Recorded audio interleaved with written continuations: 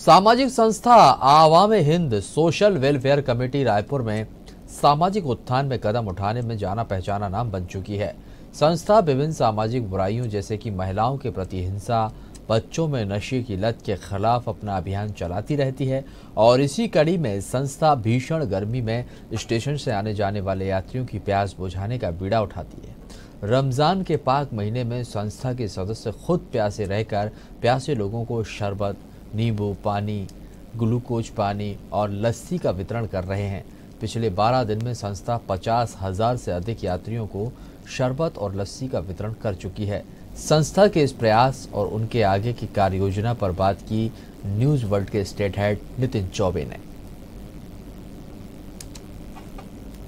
इस वक्त हम खड़े हैं राजधानी रायपुर के रेलवे स्टेशन में, जहाँ एक और तापमान 43 डिग्री छू रहा है।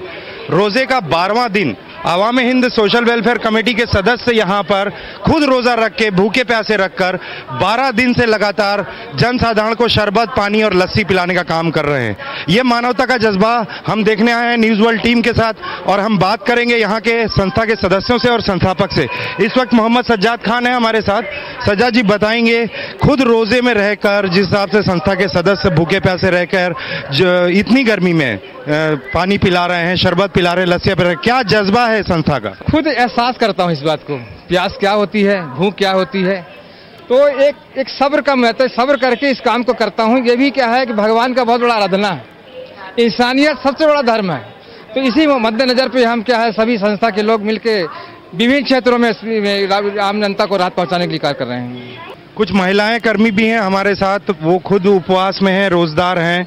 क्या कहना चाहेंगी? क्या जज्बा है आपका लोगों के लिए? भीषण गर्मी को देखते हुए हमको लगता है कि हम जिस प्रकार से हम लोग रोज़ा रखते हैं वैसे ही सबको पानी की प्यास की ज़रूरत होती है। बस यही जज्बा है कि हमको खुशी मिलती है कि हमारे जो संस्थापक हैं संस्था के संस्थापक उनका ही ये मार्गदर्शन है और बहुत खुशी मिल रही है कि जो प्यासे लोग हैं उनकी हम प्यास बुझा पा रहे हैं। आइए कुछ लोगों से हम बात करेंगे। भाई साहब आवाम हिंद द्वारा ये पानी और वितरण किया जा रहा है क्या कहना चाहेंगे अच्छी बात है।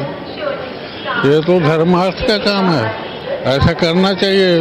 अपने लोगों का क्या नाम से अपनापन होता है, अपना लोगों की भावना अच्छा लोगों के प्रति हमदर्दी होती है। और ऐसा होना ही चाहिए। पूरे हिंदुस्तान होने चाहिए। इतनी भीषण गर्मी में लोगों को राहत देना का पहुँचाने का काम कर रही है आवाम हिंदी साथ ही साथ सामाजिक कुरीतियों के खिलाफ भी उनने आवाज़ें बुलंद की हैं, प्रयास किए हैं स्टेशन के खास पास के जो आपराधिक तत्व हैं, आपराधिक गतिविधियाँ उन पर रोक लगाने की। शासन प्रशासन से हालाँकि उतना सहयोग नहीं हो पाया, फिर भी न्यूज़ वर्ल्ड चैनल आवाम हिंद संस्थान के इस प्रेरणादायक काम को और सामाजिक काम को सलाम करता है। कैमरामैन यासीन मेमन के साथ नितिन